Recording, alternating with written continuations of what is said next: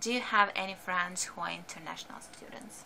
Um, I do have a few from the like tutoring lab, but I don't necessarily like, hang out with them outside of the lab.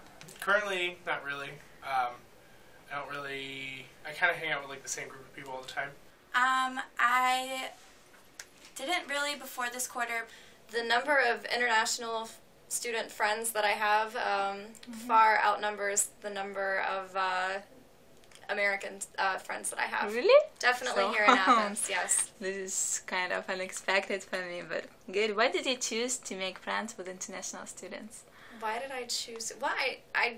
It's not like I decided. Oh, I need some international friends. I just, um, you know, I'm in the linguistics department here, and it is probably a bit more diverse than some of the other departments on campus. So of course, I become friends with the people that uh, surround me. I don't know. I'm not really the most socially outgoing person, so meeting new people is kind of a challenge or awkward for me. So I um, tend to meet my friends through my other friends. So I'll meet someone who is friends with someone I'm already friends with. Okay, yeah, make sense? it makes I, sense. yeah, I don't usually go up to like a stranger and just say, "Oh, hey, let's be friends." Most of the time, when American students become friends with international students, it's usually through some sort of um, group or club.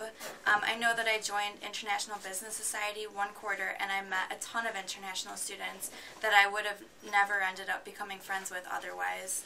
I remember with my conversation partner for freshman year, um, he loved basketball and talked about it all the time. I don't really know much about basketball. I don't talk about it, but if I had, that would be something we would have had in common, and I'm sure we would have like it would have been like something we shared. Absolutely, there are challenges. There are cultural differences, of course, and if a culture is new to you, you certainly aren't going to be aware of everything. A lot of American students are very outgoing, and maybe students from other countries aren't as outgoing and maybe are intimidated. Some of my friends have had some like culture clashes, but nothing too terrible. I live with an Indian, and he is a very, very good friend of mine, and he has been since we met. But there have been many times, especially in the beginning, where we didn't always agree, where I wasn't quite sure what he was doing or what he expected from a situation. Um, and so we would have to sit down and say, you know, these are the differences between our culture. And I'm not talking about anything, you know, life changing or, you know, something detrimental. Something just as simple as um, putting dirty dishes on the floor. You know, I don't, you know, something like that. Or um, keeping doors open and doors closed. Things like that. Um, just these subtle little simple things that you might think, uh, oh, this person, you know, how can they not understand why I would want to have the door closed? But then you have to think, can they really understand why I want to have the door closed when I'm not really understanding why they want to have it open? The United States, we're I don't know practically. Um, well, we're not monolingual, obviously, but we don't really have a lot of border, if that makes sense. hmm Um, so there are a lot of places in the United States where English is the only language spoken, and like I think people would, um, people could go their entire lives without meeting a speaker of another language. It's hard to make friends with someone who doesn't speak the same language as you. Um, but even so, I mean, you don't have to speak exactly the same language. There can be rough translations, and you can still see eye to eye on certain things, and you can still enjoy the same activities. So um, it's just kind of hard to look past language. I mean, I've heard some students they complain. Um, for instance, like people always complain about uh, math teachers who don't speak English very well. It's hard to understand. Um, or, well, I guess that's really the biggest one I've ever heard.